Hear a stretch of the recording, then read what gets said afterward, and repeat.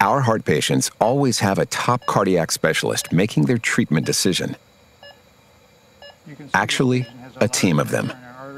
And what we see on the ultrasound, we ought to go ahead and treat this. I agree. Definitely.